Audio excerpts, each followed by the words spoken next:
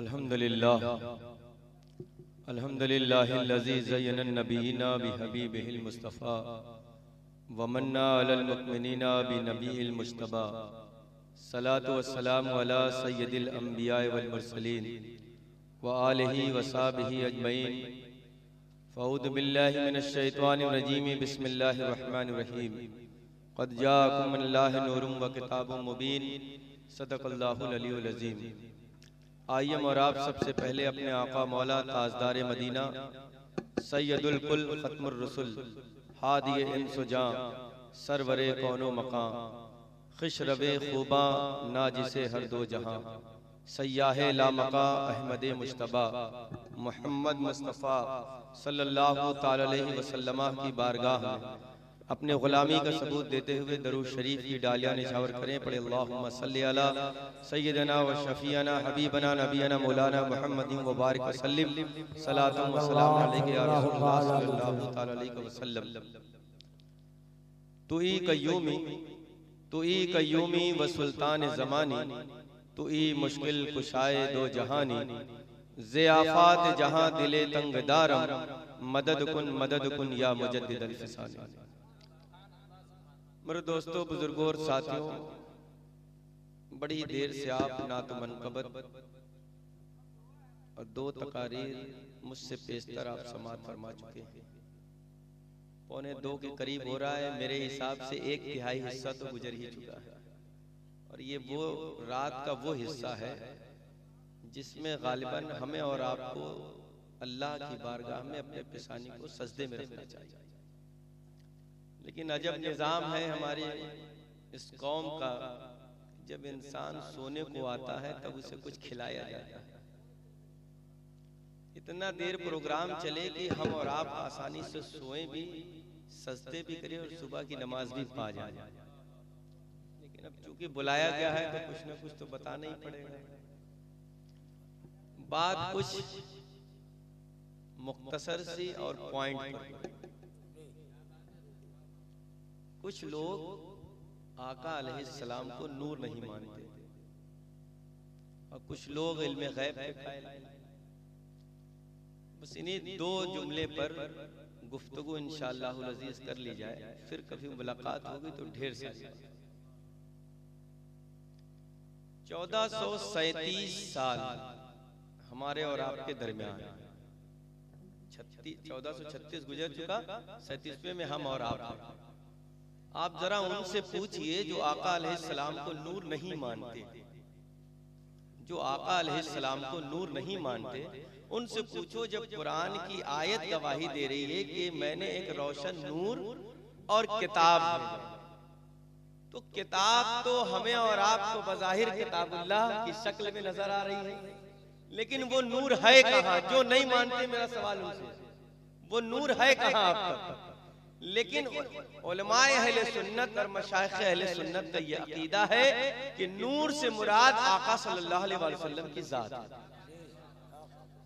और हम हमारे असलाफ पहले भी उन्हें नूर मानते थे और बता करके गए अल्हम्दुलिल्लाह हम भी नूर मानते हैं और जो हमारी नस्लें होंगी वो भी नूर मानेंगे वाह वाह वाह अब अगर ये ये यूँ कहें कि नूर को साबित करो तो हम कहते तुम्हारी पैदाइश तो 200 साल की हम तुम्हें 400 साल पहले लेते उससे पहले 400 और 800 साल पहले ले चलते 800 साल पहले ले चला जाए या उस जमाने में ले चला जाए जिस जमाने में आका था।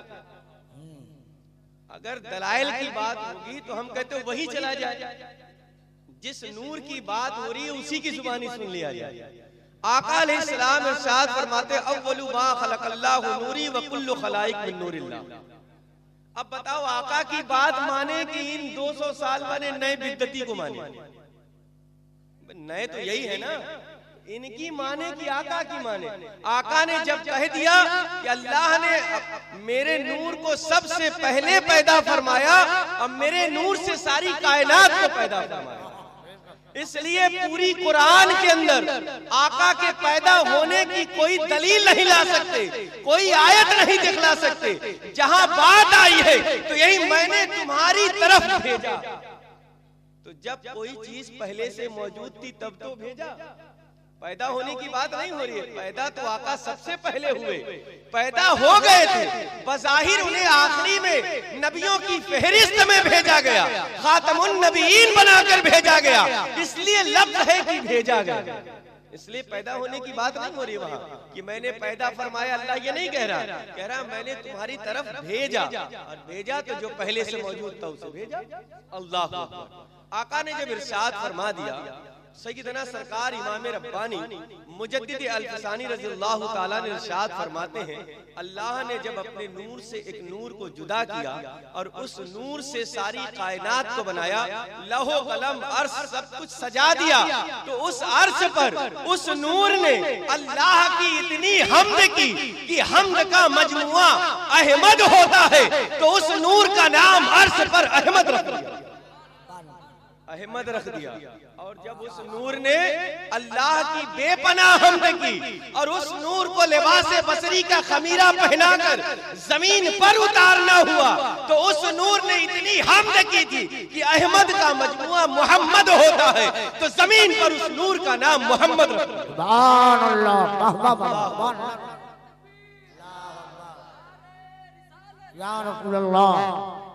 जिंदाबाद जिंदाबाद। सरकार गरीब नवाज़ रजील्लाहु ताला अपनी किताब अनीसुल अरवाह में नकल अल्लाह तबारक ताला ने अपने महबूब के नूर पर सत्तर हज़ार पट्टियाँ लपेटी, उसके बाद लिबास बसरी का खमीरा चढ़ाया। साबित करेंगे।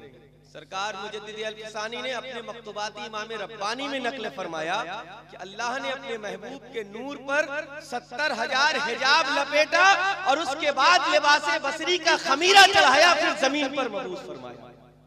अब बात आई सत्तर हज़ार पट्टी या सत्तर हज़ार हिजाब। पर्दे तो आका अलैहिस्सलाम की जुबानी सुन ले। आका अलैहिस्सलाम क्या इरशाद फरमाते मेराज की रात जब मैं सिदरतुल मुंतहा से रब्बे कदीर की बारगाह में पहुँचा तो उनके करीब पहुँचने तक मैंने सिदरतुल मुंतहा से अल्लाह की बारगाह तक पहुँचने में सत्तर हज़ार हिजाबात को पार किया तब अल्लाह के खालिश नूर का मुशाहिदा यानी खुदा भी रहता है तो सत्तर हज़ार हिजाब के अंदर। अब मोहम्मद का नूर भी रहता है तो सत्तर हज़ार हिजाब के अंदर। अब अगर कोई कहे कि नहीं, अकाल इस्लाम बजाहिर हमारी और आपकी शक्ल में आए तो सब तो कहता है कि बजाहिर देखने में इंसान थे, फिर भी हमारे जैसे नहीं थे। अगर मूसा अलैहिस्सलाम अल्लाह को देखने के लिए जिद करे तो अल्लाह ताला मना फरमा कि नहीं, तुम मेरी तजल्लियों को नहीं देख सकते। लेकिन जिद की आया है हदीसों में कि सत्तरवे हिजाब, सत्तरवे हज़ार हिजाब जो था, उस हिजाब का आखिरी हिस्सा जो था जिसे सत्तरवा हज़ार हिजाब कहा जाता था। रब ने चंद लम्हों के लिए हटाया था। तो हज़रत मूसा जो बनी इसराइल के उलुल पैगंबर थे तो ताब ना ला सके और कोहे दूर पर बेहोश हो गए। तो अरे नादानो, समझते क्यों नहीं कि जब मूसा अलैहिस्सलाम ने अल्लाह की तजल्ली का सत्तरवे हिजाब का पर्दा उठा। तो मुशाहिदा न कर पाए। बेहोश होकर ज़मीन पर आ गए। तो अपने महबूब के खालिस नूर को अगर ज़मीन पर उतार देते तो सारी कायनात जल करके राख इसलिए तो सत्तर हज़ार पर्दों में लपेटा। और ये चमन सजाया ही किसके लिए था? तो जब उन्हें उतारा जाता और उस नूर की ताब जब मूसा अलैहिस्सलाम न ला सके तो ये कायनात क्या ला सकती? अल्लाह वो सरकार जो आलम सल्लल्लाहु वसल्लम को नूर नहीं मानते। हम कहते हैं, अब इन्हें दलील देने की भी ज़रूरत नहीं। इन्हें दलील इसलिए नहीं देने की ज़रूरत है कि इन्हें दिखता ही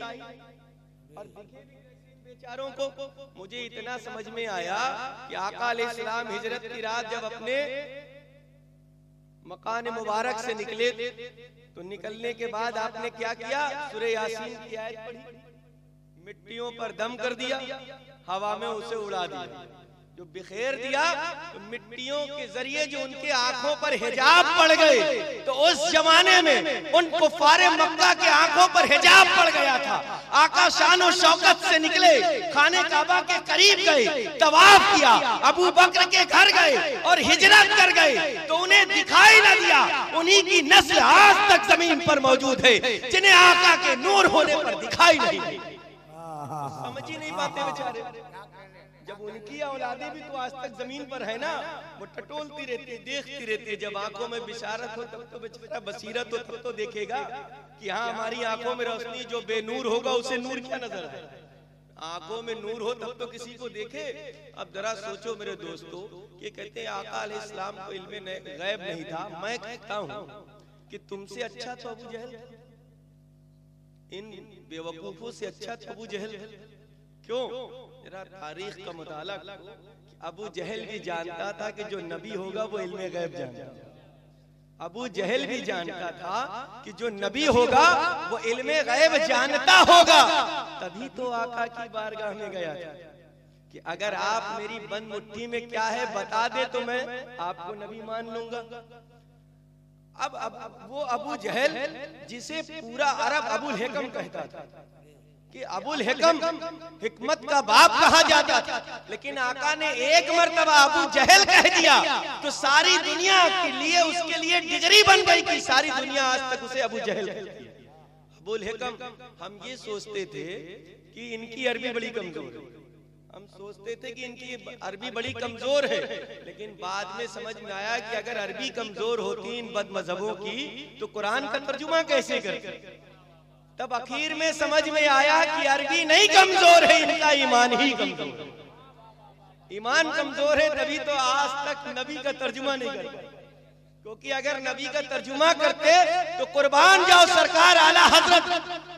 मुजद्दिद मिल्लत इमाम अहमद रजा मुहद्दिस बरेलवी ने लफ्ज नबी का तर्जुमा करके ये मिजाज दे दिया ये पैगाम दे दिया कि कोई बदबख्त अगर आए और पूछे नबी के पास इल्म गैब है या नहीं है तो बता देना अरे नादान नबी का मतलब ही है कि गैब की खबर दे है है है अल्लाह हज़रत ने बता ही दिया आसान कर दिया हमारे और आपके लिए। अबू अबू जहल आके आका से पूछ रहा है आका बताइए इसके अंदर क्या है? अब बताओ ये बंद मुट्ठी है इसमें अगर कंकड़ी न होती। पहला इल्म गायब तो यही ज़ाहिर हो गया कि अगर कंकड़ी न होती तो आका यूँ थोड़ी कहते ये कह देते कि इसमें कुछ है ही नहीं लेकिन आका ने कहा कि मैं बताऊँ कि मुट्ठी में क्या है या वो बताए मुट्ठी में कि मैं कौन? हूँ तो यही तो इल्म गैब था। कि आका जानते थे कि इसकी हाथों में कंकड़ियाँ हैं। इसलिए कहा कि वही बताए। अब बात यहाँ ये आ गई, जरा देखो कि पहले के जो अम्बिया अलैहिस्सलाम की फहरिस्तें थी, वो अगर मुर्दों को ज़िंदा भी करते थे तो कुम बिस्मिल्लाह कहते थे। तो मुर्दा ज़िंदा होता था, लेकिन आज आका का मोजजा देखो, सिर्फ़ तवज्जो वाला है कि आपने जब कहा कि तेरी मुट्ठी में जो है वो बताए तो अबू जहल कहने लगा, बड़ी, ये तो बड़ी अच्छी बात होगी। तो बाप, मज़ा आ जाएगा कि मेरी मुट्ठी में क्या है? अगर अबू जहल ये भी तो कह सकता था कि मेरी मुट्ठी में कुछ है ही नहीं तो आका यूँ क्यों कह रहे हैं कि इसमें कुछ है? अरे, अबू जहल को तो मालूम था कि मेरी मुट्ठी में कुछ है और जो नबी होगा वो बता देगा कि मेरी मुट्ठी में क्या। अल्लाह अकबर, आका ने तवज्जो फरमाई। कहा? कंकड़ी के ऊपर आका ने तवज्जो फरमाई। और तवज्जो जो आका ने फरमा दी तो उस मुट्ठी में जो बेजुबान कंकड़ियाँ थी, पहले उसमें जान आ जाती है। और जान जब आई तो ज़ुबान भी आ गई। और ज़ुबान आया, आका का इल्म गैब पूछता है, तवज्जो का आलम तो यह है, कंकड़ी को भी इल्म गैब आ गया। कंकड़ी को इल्म गैब कैसे आया? इस मुट्ठी के अंदर कंकड़ी, उसे क्या मालूम बाहर क्या है?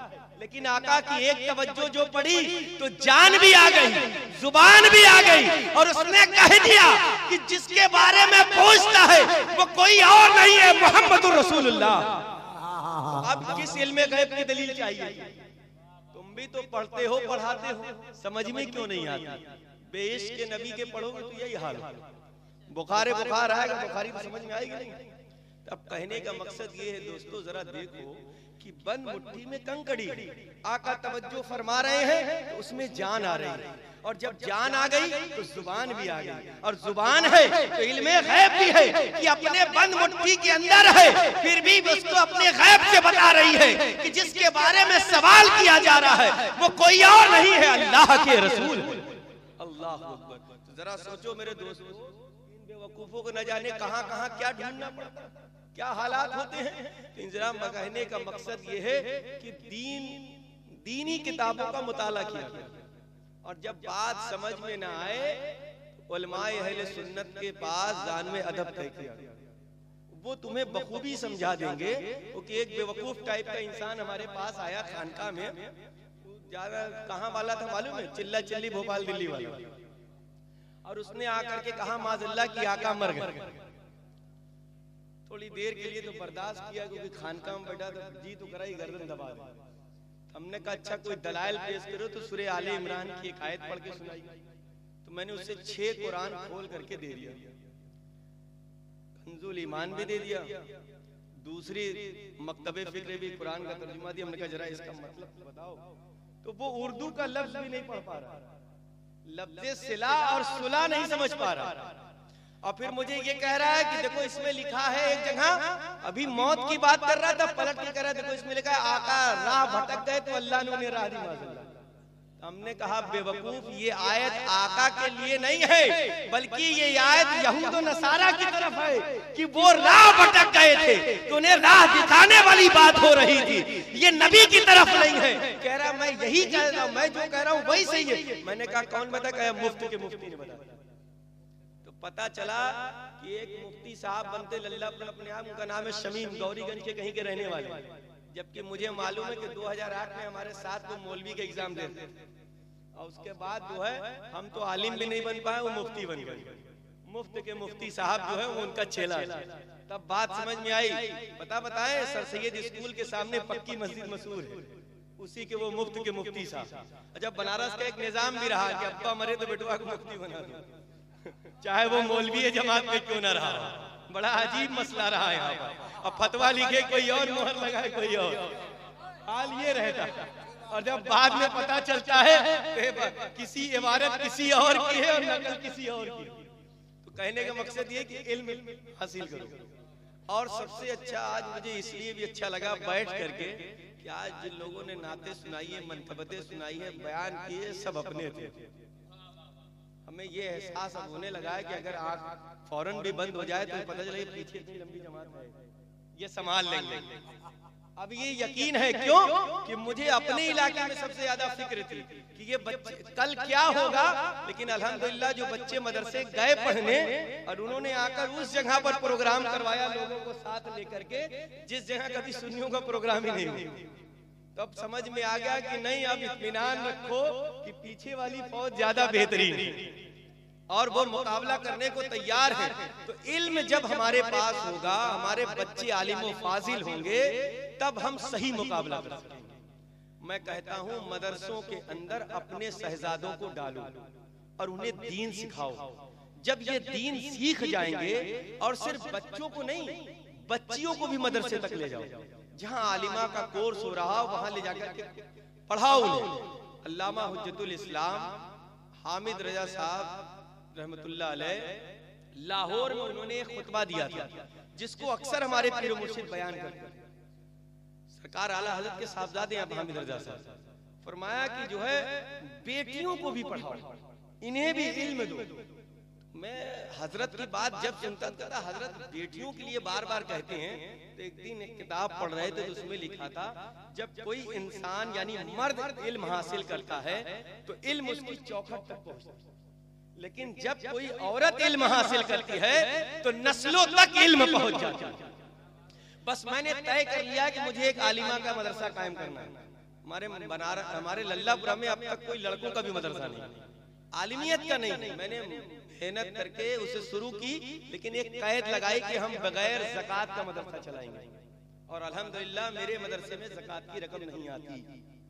मैंने अपने नौजवान बच्चों को एक मिजाज दिया कि तुम पचास रुपए हमको देना, लूम चलाकर मैं लूँगा, तुम्हारे दरवाजे पर आकर लूँगा।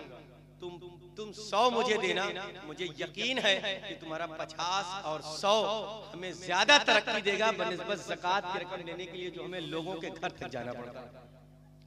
मैंने इस पर अमल किया और अल्हम्दुलिल्लाह मैं कामयाब हूँ। पच्चीस बच्चियाँ हमारे यहाँ पढ़ रही हैं, सब मुकामी हैं और सबसे बड़ा प्लस पॉइंट मुझे जब मिला, पहली मरतबा जब मुहर्रम का मेला आने वाला था, मेला ही हम कहते हैं, हम का यादे हुसैन तो मनाते नहीं, मेला ही तमाशा तुम लोग मनाते हो तो मैंने इन बच्चों से पूछा, तुम लोग क्या करती हो? तो इन्होंने कहा कि हम जाते हैं वो देखने के लिए। हमने कहा, सुनो, तुम बाज़ार मत जाओ। अब तुम इंजन हो, तुम्हें डब्बे फॉलो करते हो तो लोग सोचेंगे कि आलिमा जब जा रही है देखने के लिए तो हम भी चले। तुम अपने घर में या किसी लड़की का जिसका मकान बड़ा हो, वहाँ ज़िक्र शोहदाय करबो बला की महफिल सजाओ और सारी औरतों को जमा करो और करबला वालों के बारे में बताओ और सीरत भी बता दो। उन्होंने अमल किया और डेढ़ सौ औरतों को जमा करके माइक मेरा खराब हो गया तो अब्दुल कयूम साहब का चला गया। और उन्होंने प्रोग्राम कर लिया और मुझे सुकून हो गया कि वो एक दिन भी लल्लापुरा में रह कर भी अपने मकान से बाहर नहीं आई। तीन दिन तक मेला तमाशा रहा, लेकिन वो घरों से नहीं निकली। तो मुझे यकीन हो गया कि यही बच्चियाँ इंशाअल्लाह अज़ीज़ कल बड़ा काम करेंगी। तो इसलिए अपने बच्चों और बच्चियों को दीनी तालीम से आरास्ता करो। आज अपने बच्चों के लिए अच्छा लिबास लाते हो। अपनी बच्चियों के लिए लिबास लाते हो। उनके पढ़ने का इंतज़ाम करते हो। उनके लिए रहने का मकान बनाते हो। तरह तरह की मेहनत मशक्कतों के बाद आप उन्हें खिलाते पिलाते हैं। लेकिन क्या अपने बेटे और बेटियों के लिए कभी आपने आधा घंटा वक्त निकाला? कि चलो माँ को दे दो जन्नती जेवर कि आधा घंटा वो दर्श दे दे और एक किताब हम लेकर के बैठ जाए आका की सीरत अपने बच्चों को बता दें याल तो हुआ कि हमने स्कूल तो पहुँचा दिया बच्चों को। राम लक्ष्मण सीता सब तो जान गए बेचारे। लेकिन एक मुसलमान से बड़े थे उन्होंने पूछा कि बताइए, आका इस्लाम के कितने बेटे थे? तो बताई नहीं। उम्र कितनी थी? पचहत्तर साल। पचपन वाले से पूछा तो वो भी नहीं बता पाया पचास वाले से पूछा और पैतालीस वाले से पूछा, वो भी नहीं बता पाया हमने कहा, बताओ, ये ये मुसलमान हैं जिन्हें आका अल इस्लाम की ग्यारह बीवियों के नाम नहीं मालूम। उनकी बेटियों और बेटों का नाम नहीं मालूम।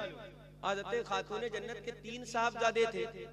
हज़रत इमाम हसन और हुसैन का नाम तो सब जानते तीसरे का नाम कौन बताएगा माना कि वो दुनिया में नहीं रहे। हज़रत मोहसिन नाम था ना? तो क्यों नहीं हमारे बच्चों को बताया जाता कि एक बेटे और भी थे? बस दो तो हमें जो बताया हमने रट लिया रटा दिया।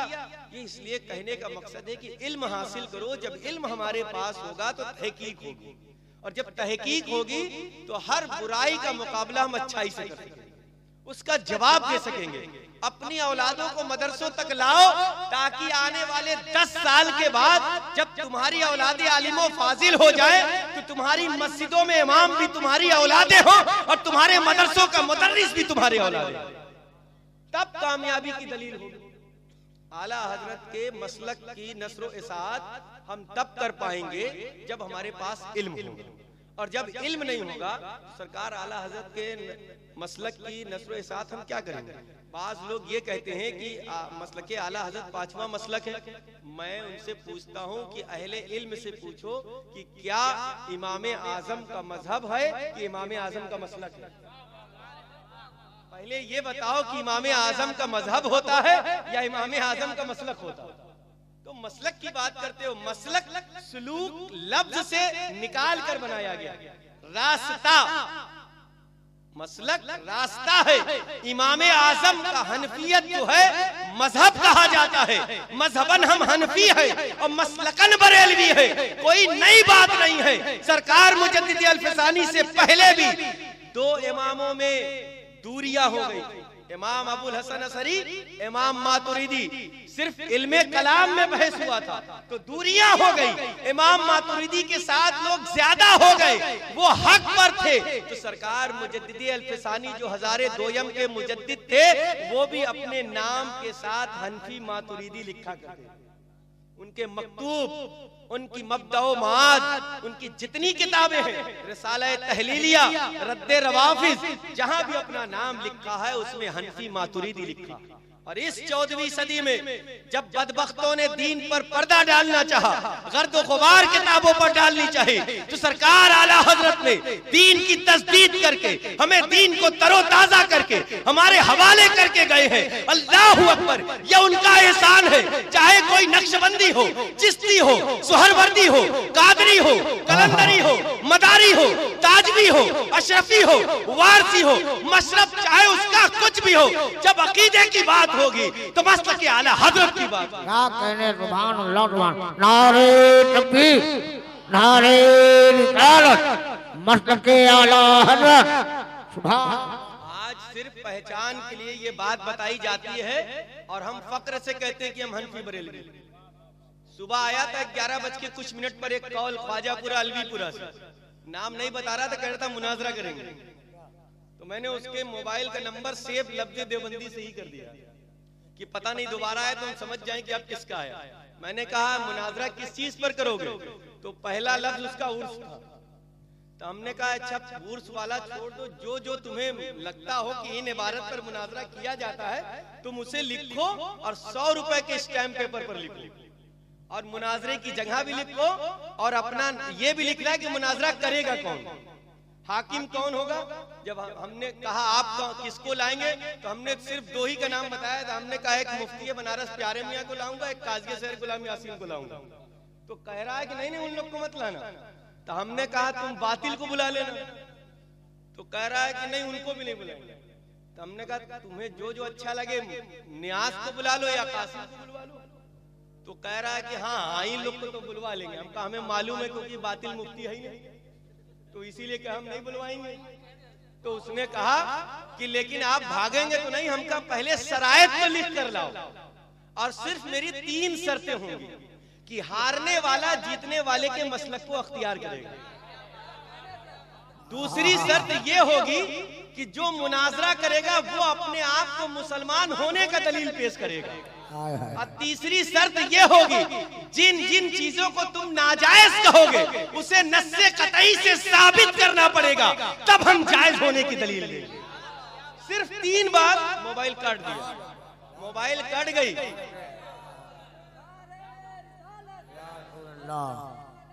जिंदाबाद जिंदाबाद जिंदाबाद जिंदाबाद जिंदाबाद। तो बात यह है कि अगर इल्म ना हो तो कहाँ फंसा दे? इल्म हासिल करो। इसलिए मैं कहता हूँ कि अपने बच्चे और बच्चियों दोनों को इल्म सिखाओ। जब इल्म होगा तभी हम मुकाबला कर सकेंगे। जब ज़ुबान की ज़रूरत हो ज़ुबान से जब कलम की ज़रूरत हो कलम से अब हम नई सोच हमारी है जहाँ हाथ की ज़रूरत हो वहाँ हाथ से। जहाँ पैर की ज़रूरत हो वहाँ पैर से। जहाँ ज़रूरत हो तो ट्रिगर भी दब सकता। है इसलिए दब सकता है कि आशिक मुस्तफ़ा जो होगा वो बर्दाश्त नहीं कर सकता जब तक तुम हमें छेड़ोगे नहीं तब तक हम तुम्हारे साथ कुछ नहीं कर लेकिन जिस दिन छेड़ दोगे तो हम छोड़ेंगे भी नहीं। जब छेड़ दोगे तो हम तुम्हें छोड़ेंगे भी नहीं। और अल्हम्दुलिल्लाह ये फकीर जिस जगह तुम बुलाने के लिए तैयार हो जाओ तुम अपने घर में भी बुलाओगे तब भी मैं पहुँच जाऊँगा।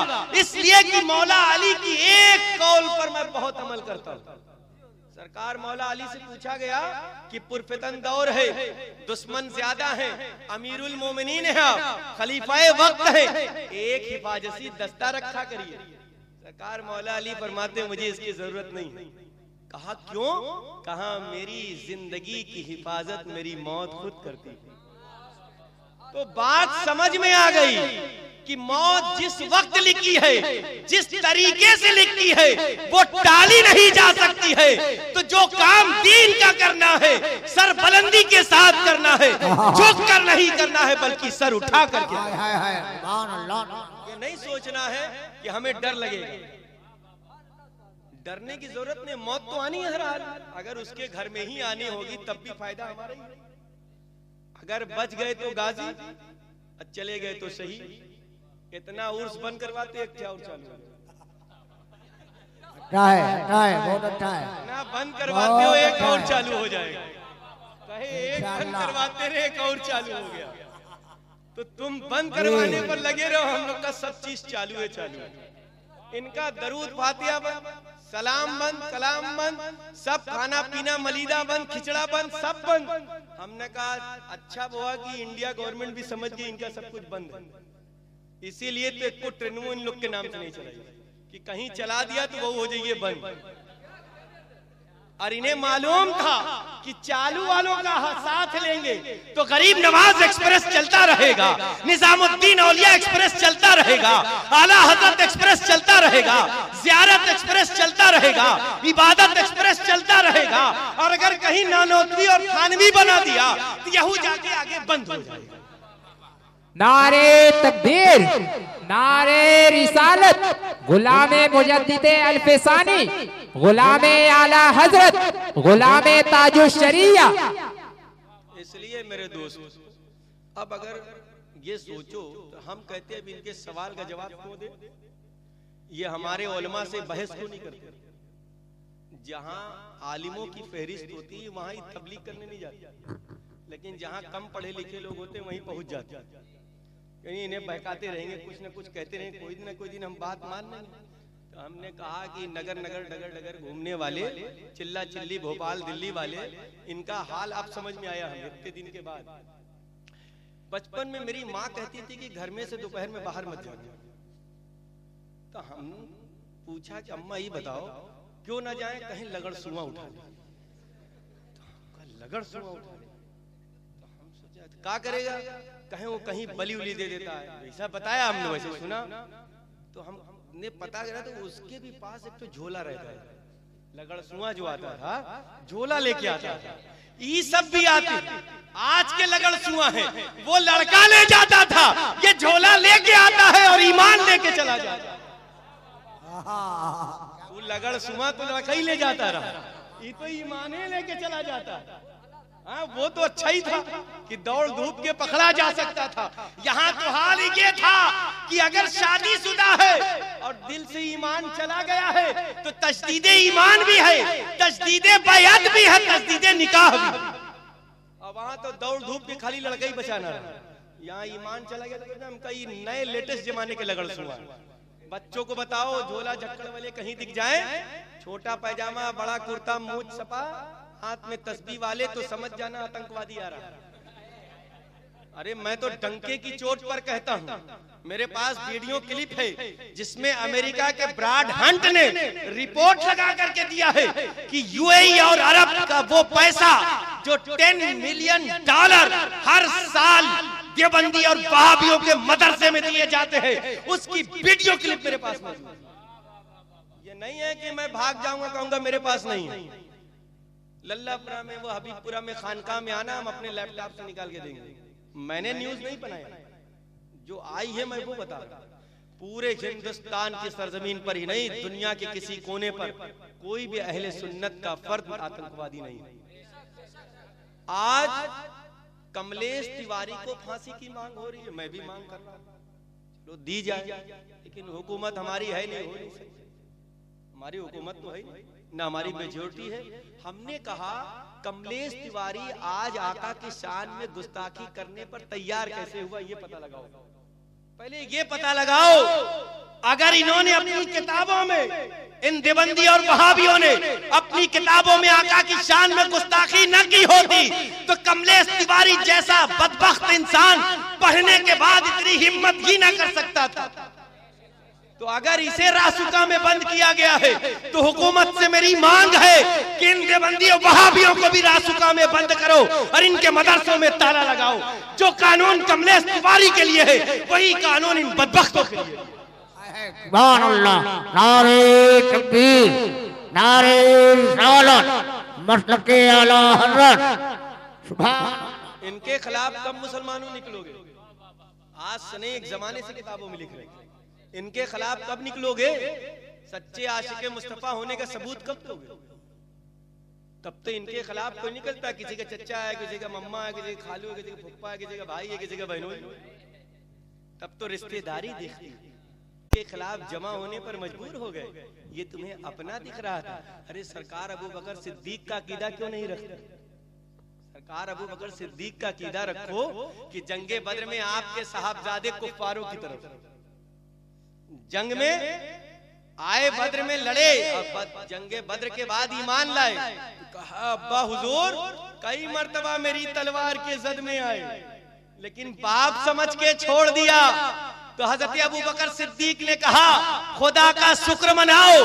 तुम मेरी तलवार के जद में नहीं आए वरना गद्दारे रसूल समझ कर कत्ल कर देते। वाह वाह वाह वाह। बेशक ये अकीदा रखो मुसलमानों। जो हमारे नबी का न हुआ, वो हमारा क्या हो सकता? है क्यों हम उसके साथ सलाम और कलाम करें? क्यों उसके साथ? मैं तो कहता हूँ कि जब ये मुसलमान ही नहीं है तो इनके साथ रिश्तेदारी कैसे? इनके साथ बेटियाँ लेन देन कैसे?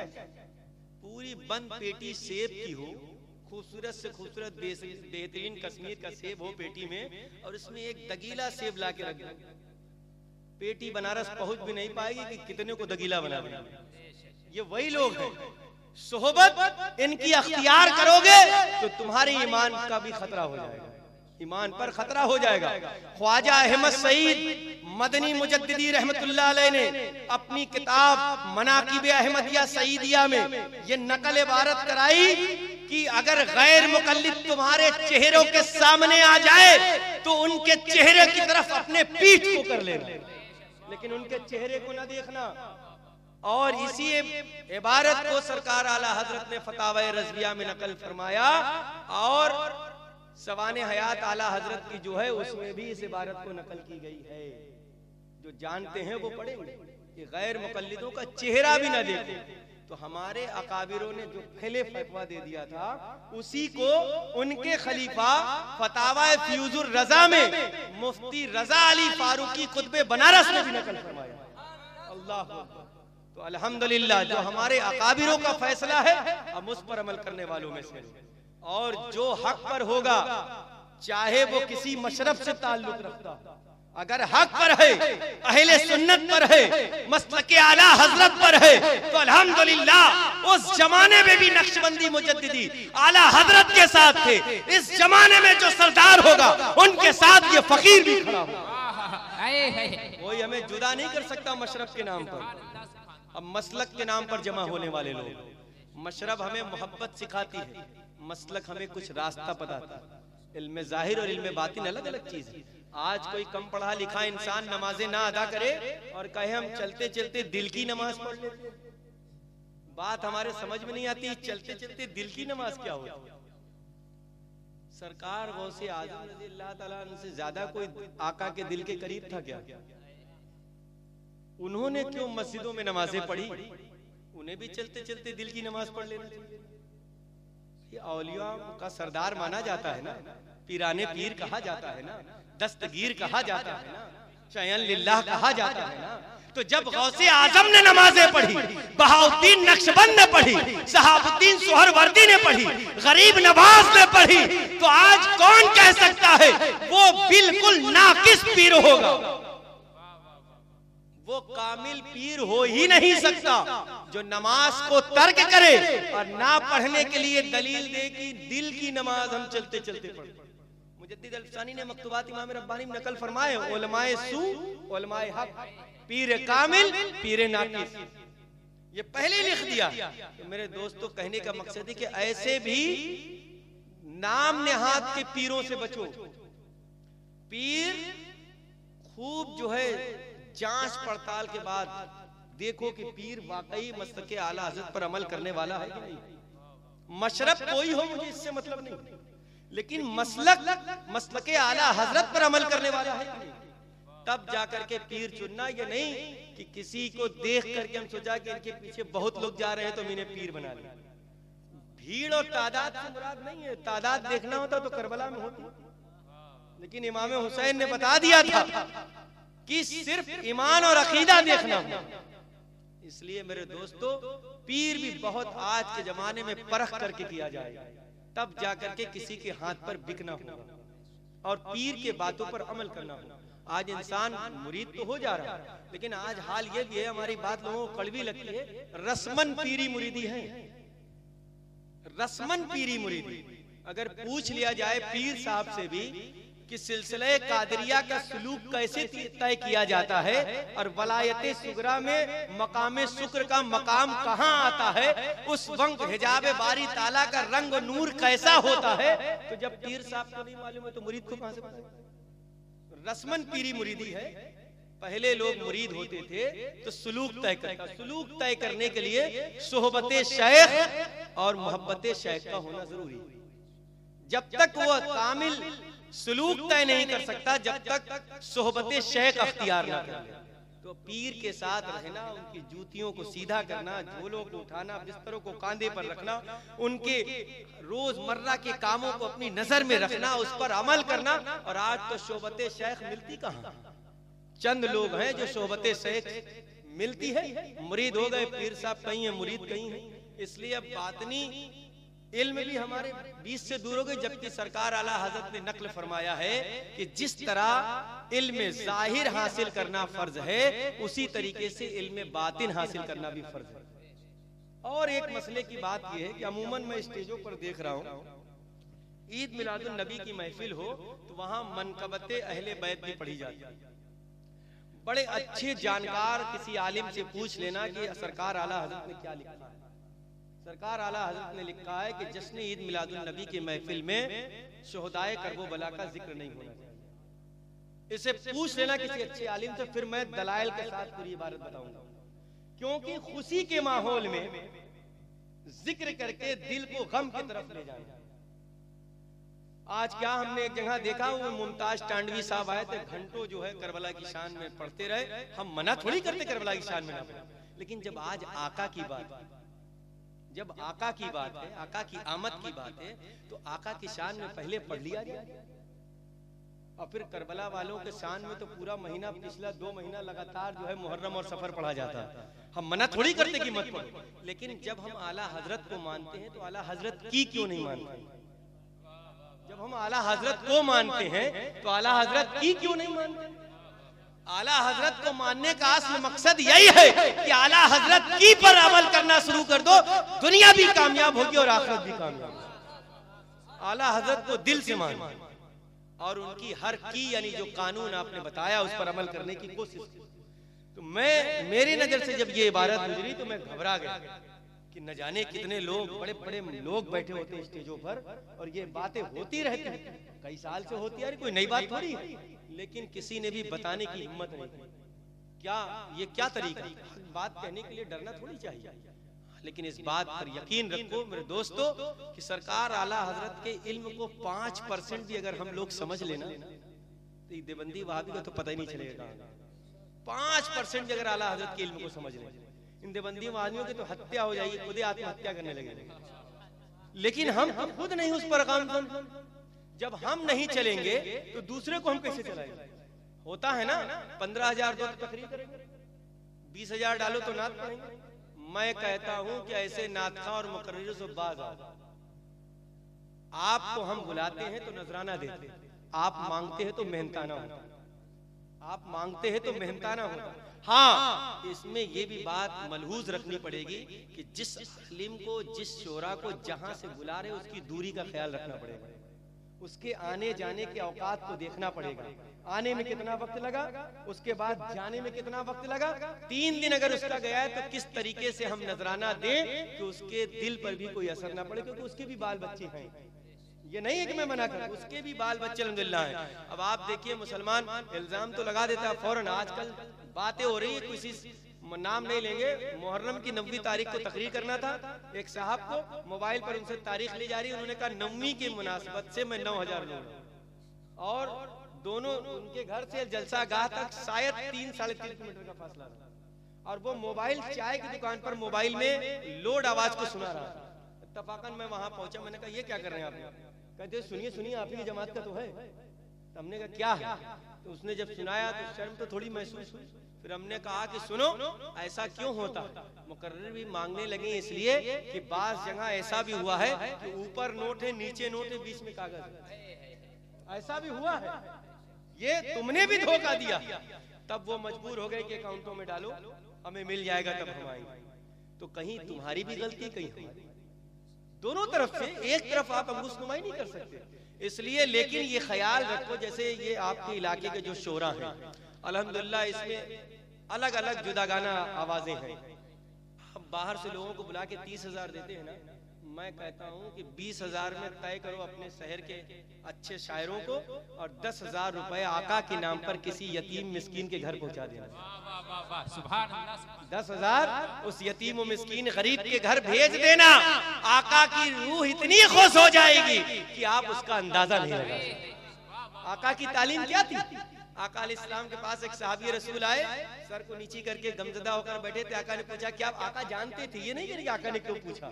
आका ये पूछा, क्या बात है? कहा, हुजूर, मैं अभी घर गया था तो पता चला कि मेरा बेटा जो है सुबह से निकला है, अब तक घर नहीं पहुँचा। मैंने आस पास पता किया, लेकिन पता नहीं चला बेटा कहाँ है। आका इस्लाम का इल्म गैब, देखो यहाँ भी आका ने फरमाया, फला जगह जाओ, वहाँ देखना बच्चों के जुर्मुट में बागीचे में खेल रहा लेकिन जब वो जाने लगे बच्चे की मोहब्बत किसे नहीं हुई तेज़ी से जाने लगे बात सुनकर आका ने कहा ठहर जाओ। वहाँ जाना तो बेटे को बेटा कहकर ना पुकार। बेटे को बेटा कह के न पुकारना। उसके उसे अपने सीनों से फ़ौरन चिमटा ना लेना। उसके सर पर सबकत के हाथ न फेरना। साहबी रसूल पूछते हैं, या रसूल अल्लाह ऐसा क्यों नहीं? वो तो मेरा बेटा कहा ये सच है? हो सकता है किसी यतीम का बच्चा भी खेलता हो और तुम उसे सफकत के हाथ फेरोगे उसे सीने से लगा लोगे बेटा कहकर पुकारोगे तो उसे भी अपने बड़े हुए माँ बाप की याद आ जाएगी। उसका दिल दुख जाएगा इसलिए लिहाजा ऐसा न करो। अमल देखो मेरे आका। क्या सिखा रहे हैं? क्या तालीम दी है? आज हम क्या करते हैं? अपने बेटे से तो मोहब्बत करते हैं, लेकिन पड़ोसी के बेटे को तमाचा लगा। क्या ये अमल हमारा अच्छा होगा? नहीं। नहीं। तो इसलिए कहेंगे पहले आका की तालीम तो देखो, अल्लाह आका अलैहिस्सलाम ने दिल तोड़ने वालों को बहुत सख्ती से मना फरमाया। मेरे, हज़रत आयशा सिद्दीका रज़ियल्लाहु ताला से एक बार आका ने कहा कि जो पूछना चाहती हो मुझसे पूछो। आपने कहा कि या रसूलल्लाह मैं पूछना तो चाहती हूँ, लेकिन मैं चाहती हूँ कि मशवरे कर लो। तो कि, किससे मशवरा करोगी? कहा अबू हा यानी अपने बाप ठीक है, हज़रत अबू बकर सिद्दीक के पास गई, मशवरा करने सरकार सिद्दीक अकबर ने कहा, आका से अगर कुछ पूछना है तो ये पूछ लेना कि जब आप मेराज की रात अल्लाह के पास गए थे आप थे और अल्लाह और उसके अलावा कुछ नहीं था। अल्लाह से जो आपकी गुफ्तगू हुई थी, उसमें से एक बात बता दे। वाह, मशवरा देने वाला भी कितना अच्छा था। कि वो बात आज ज़मीन पर आने वाली है, जो अल्लाह उसके रसूल के सिवा कोई नहीं जानता था। आप आई, आका ने कहा, मशवरा हो गया। कहा हाँ रसूल अल्लाह हो गया। तो कहा, जरा बताओ कि क्या मशवरा हुआ? कहा, आका, बस वो बात बता दीजिए। जब आप थे अल्लाह और उसके अलावा कोई चीज़ मौजूद न थी, मेराज की रात जब आप लोग करीब हुए थे, उस गुफ्तगू में से एक बात बता दीजिए आका मुस्कुराए और एक बात बताई कि अल्लाह ने मुझसे फरमाया कि तुम्हारी उम्मत में अगर कोई शख्स दो टूटे दिलों को जोड़ देगा, दो टूटे दिलों को जोड़ देगा, मैं उसे बेसबब जन्नत में दाखिल। दो दिलों को जोड़ने से जन्नत मिल जाएगी। अल्लाह आप यहाँ से बात हो गई पूरी, सरकार अबू बकर की बारगाह में पहुँची। तो आपने ये भी वादा किया था कि जब बता दे तो मुझे बता दे आप गए अपने वालिद साहब को बताने तो पूछा गया तो उन्होंने जब बताया कि दो दिल को जोड़ने पर, टूटे दिलों को जोड़ने पर जन्नत मिलती है, आप रोने लगे। अब्बा हुजूर, ये तो खुशी का मकाम है, आप रोते क्यों हैं? कहा, रोता इस बात पर नहीं हूँ। रो, रो इसलिए रहा हूँ कि अगर मेरी ज़िंदगी में किसी का दिल मेरी बातों से किसी वजह से टूट गया होगा तो जब जोड़ने पर जन्नत मिल सकती है तो टूटने पर कहीं जहन्नम ना मिल जाए इसलिए रो रहा अल्लाह क्या ये तालीम हमारे पास है एक भाई अपने भाई का हिस्सा हड़पने के लिए तैयार। और खास तौर से हमारे मुसलमानों को तो एक अजब बीमारी लग गई कि अपने बहनों का हिस्सा देने नहीं चाहते जबकि वो उसका अपना हक है कहीं हिस्सा ले ले भी तो तोरा रिश्ता खत्म कौन सा रिश्ता खत्म कर रहे भैया? कौन सी किताब में लिखा है कि हिस्सा मांग लेने से रिश्ता वो उसका अपना हक है। बाप की मिरास में से उसका अपना हक है। दे दो। कहाँ जाएगा? अपने ही तो भाई बहन के पास जाएगा। पड़ोसी तो नहीं ना लेगा। लेकिन क्या है? अब भाई भाई का भी ना रहा। एक भाई ने ज़्यादा कमा लिया तो दूसरे दो नंबर का धंधा होगा चोरी चमारी धब्बे तो बनवाए मकनवान। हम देख इतने दिन से कमाई थे, हमरा बने थे? कुछ किए सोइए तब्बे बना। हसद आकाल इस्लाम इरशाद फरमाते भाई भाई के गैर मौजूदगी में दुआ मांगे। तो अल्लाह उसे कबूल फरमाता है। भाई भाई के गैर मौजूदगी में दुआ मांगे तो रब उसे कबूल फरमाता है। हम तो आए बाबा एक के लूम हो जाए दूध हो जाए मकान हो जाए फलाना हो जाए ठिकाना हो जाए एक बार हम पहुँचे कुत्बे बनारस में तो एक के पर्चा उड़ के मिल गया। अब वो पर्चा में पढ़ा तो अल्लाह रहम करे वो पर्चा लिखे वाले उम्मे लिखा रहा बाबा हमें एक लड़की पसंद आ गई हमरा शादी हमने कहा अस्तगफिरुल्लाह लिखिस भी तो बेचारा दुनिया लिखिस काश ये लिखता कि बाबा हम नमाज़ सही से नहीं पढ़ पा रहे चार टाइम पढ़ पा रहे फजर में नहीं उठ पा रहे दुआ कर दीजिए कि फजर में उठ जाए। वाह वाह कोई भी इंसान वहाँ पहुँच कर जो छुपे उन्हें छोड़ दो चुनिंदा। कोई ये पहुँच करके साहिब मजार से नूर हासिल करना नहीं जानता। कोई साहिब मजार से नमाज़ पढ़ने का अपना वक्त पर नींद खुलने की बात नहीं करता। लेकिन हाल क्या है कि दुनिया भर की सामान को माँगता है वसीला बनाता है। लेकिन कभी इसलिए वसीला नहीं बनाता कि बाबा हम इतने बड़े हो गए मुझे कुरान पढ़ना नहीं आया। आप दुआ फरमा दीजिए कि मैं मरने से पहले कुरान को पढ़ूं। आप दुआ फरमा दीजिए कि मैं नमाज़ पढ़ने वाला हो जाऊँ। आप दुआ कर दीजिए कि माँ बाप का फरमा बरदार बनूं कोई इसलिए नहीं गया कि बाबा मैं दुआ माँगता हूँ कि मेरे भाई के लिए छत हो जाए। मैं दुआ माँगता हूँ मेरी बहन के घर में रिस्क में बरकतें हो जाएँ। कोई इस तरीके की दुआ नहीं मांग रहा सब अपने अपने लिए दुआ मांग रहे अरे हम कहते हैं कि अपने लिए जहाँ मांगते हो ना वो बाद में मांगना। पहले दूसरों के लिए मांग कर तो देखो जब दूसरों के लिए मांगोगे तो अल्लाह ताला खुश हो जाएगा उससे ज़्यादा तुम्हें दे देगा। तो इसलिए अपने अंदर इल्मी बेदारी पैदा करो। जुमलों को देखो। आज इंसान क्या कर रहा है? मैंने ये किया मैंने बनवाया मैंने मस्जिद में ट्यूबलाइट लगाई मैंने नल लगाया मैंने मस्जिद में इतना पैसा दिया मैंने मदरसा में इतना दिया मैंने फला काम किया। सब काम मैंने किया ये क्यों नहीं कहा कि अल्लाह ने जो कुछ मुझे दिया था उसी में से अल्लाह ने अपने काम में लगवा लिया ये क्यों नहीं कहा हमने किया नाम पुकारो एक जगह हम चंदा लेने के लिए दो हज़ार तेरह में बहुत परेशान हुए इलाका के नाम नहीं बताएँगे। नाम था, नाम लिख करके उनका पैसा दे दिया। कहीं ने पचास मीटर दूर चले गए बुलवा के कहीं पे हाजी भी लिखो हमने बहुत बुरी जगह फंस गए। हमने कहा, हाजी, आप अपने हाथी से लिख ना, हम चंदा दिया, मैं पूरा हाजी लिखो। तो हमने कहा, एक बात बताओ, हज करे कई बार, कहीं नहीं एक बार? हमका नमाज़ पढ़ते कहीं हाँ पाँचों टाइम की तो हमका नमाजी भी लिखवाओ।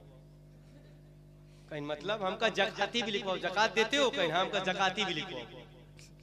कहीं अरे ऐसे कैसे हो जाइए हमका एक बार हज कियो फ़र्ज़ तो हाजी हो जाए। अब पाँच टाइम फ़र्ज़ नमाज़ पढ़ो तो नमाजी लिखा जाए लिखा जाए फला नमाजी फला जकाती। तब ना बात हाजी वाली आएगी कहीं भाग जाओगे तो हमने समझ में आवा कि और उल्टा हो गया लग रहा है। तो इसलिए मेरे दोस्तों कहने का मकसद ये है कि इल्म हासिल करो। हंसो नहीं। आका इस्लाम इरशाद फरमाते हैं कि हंसने से दिल मुर्दा हो जाता है। क्या हो जाता है? दिल मुर्दा हो जाता है। तो हंसने का मकाम नहीं है। खुद भी नमाजें पढ़ो और अपने बच्चों को भी नमाज़ पढ़ने के लिए उंगली पकड़ाकर मस्जिद ले जाओ। अपनी घर की औरतों को भी नमाज़ के लिए उठाओ ताकि वो नमाजें पढ़ें। लेकिन जब तुम नहीं पढ़ोगे तो तुम्हारी औरतें कहाँ से नमाज़ पढ़ेंगी? आई संगमरमर का गाल बनाए जो फिर रहे सब लोग। फ़र्स्ट क्लास का चिकना मुकना बना के, का कोई मुमताज़ महल तो मिलने वाली है? आका अलैहिस्सलाम से मोहब्बत का दावा अगर करते हो, अपने आप को टनाटन सुन्नी कहते हो तो चेहरे पे दाढ़ी ले आओ। आला हज़रत के सैदाई बनते हो, दीवाने बनते हो तो चेहरे पे दाढ़ी लेके आओ। जिसे स्टेज पर कोई ऐसा इंसान हो, दाढ़ी ना हो, आके नाक पढ़ने लगे, हम तो भगा देते हैं। हमें तो बर्दाश्त नहीं हो क्योंकि आला हज़रत ने लिखा है कि फासिक इंसान से दाढ़ी वगैरह जिसके चेहरे पर ना उससे नाक वगैरह ना पढ़ाई जाए। खुद आला हज़रत ने लिखा लेकिन आज मालूम है, दबाव स्टेज पर खसखस की दाढ़ी वाला भी उससे भी नात पढ़वाई जाती है मैं किसी एक इंसान को निशाना नहीं बना रहा हूँ, मैं बात बता रहा हूँ। चेहरे पर दाढ़ी लाओ, medical science of German, Harvard University of Australia, इनका बहुत रिसर्च है। कंबाइंड इनका नोट है, इन्होंने जो लिखा है कि जब कोई इंसान दाहिने चेहरे पर मुतवातिर अस्तूरा लगवाता है तो उसका नफ्स कमज़ोर होता है। और जब बाई तरफ़ अस्तूरा लगाता है तो नफ्स भड़कता है गलत कामों की तरफ़। अब पूरी ज़िंदगी उसने अगर चेहरे पर दाढ़ी न रखी तो उसकी जो सातवीं नस्ल होगी, वो औलाद पैदा करने के काबिल नहीं होगी। अंग्रेज़ों ने लिख दिया लेकिन हम मुसलमान हैं, इस जहन्नमी हीरो के चक्कर में फंस के जो है, चेहरे पर से दाढ़ी हटा दिया। ये जो फिल्मी दुनिया वाले सब जहन्नमी हीरो हैं, इन्हीं के जो है, हम फॉलो करते हैं। जिन लड़कियों की मोहब्बत में आकर तुमने चेहरे से दाढ़ी हटा दी, जिन औरतों के दबाव में आकर चेहरे से दाढ़ी हटा दी, जिस समाज वालों का तुम्हें डर रहा, हमने कहा कि सिर्फ़ एक चौकी इंचार्ज बुलवा लेता है। तो तुम्हें इतना डर होता है कि अगर ना पहुँचे तो चौकी इंचार्ज हमारा बुरा हाल कर दे क्या कभी तुमने ये खौफ दिल में नहीं पैदा किया कि दिन और रात में पाँच मरतबा खुदा अपनी बारगाह में बुलवाता है। खुदा अपनी बारगाह में बुलवाता है। मुअज्जिन अजान की सदाएँ बुलंद करता है। रब की बारगाह में पेशी की बारी होती है। सजदे में सर रखने की बात होती है। तुम खुदा के पास नहीं जाते। एक चौकी इंचार्ज का डर है। तो किसी को लेकर पहुँच जाते हो। अरे हमने कहा, अगर खुदा नाराज़ हो गया तो उसका कहरो गजब कैसे झेल पाओगे? झेल पाओगे क्या? तब तो नहीं झेल पाओगे। वहाँ कब्र में क्या हाल होगा तुम्हारा? एक बनाए ना बनेगी। इसलिए नमाज़ की तरफ़ आओ, चेहरे पर दाढ़ियाँ रखो, मर्दों के चेहरे की जीनत दाढ़ी, औरतों के चेहरे की जीनत सरों के बाल। इन दो चीज़ को जीनत करार दिया गया। अगर तुम औरतों के चक्कर में आके अपने चेहरे से दाढ़ी हटाए हो तो हम कहते हैं कि जो है, तू औरतों से कहो, सर से बाल हटा के दिखाए। तुम्हारी तरह टकली हो जाएगी तो दाली मुंडा हो तो तकली होगी, दिखाए। टकली होगी तो पसंद करोगे? मोली सब पागल होगा उसमें शादी करेंगे तो टकली तो तू कहे दाढ़ी मुंडा हो।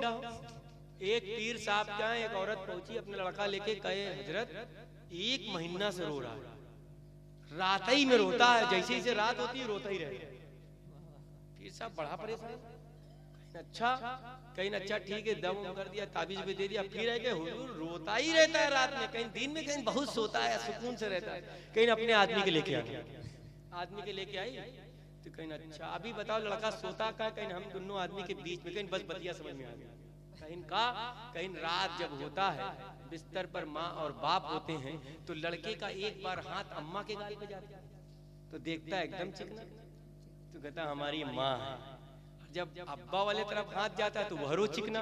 तब रोता है, मेरे मौला, मेरी दो दो माँ, बाप का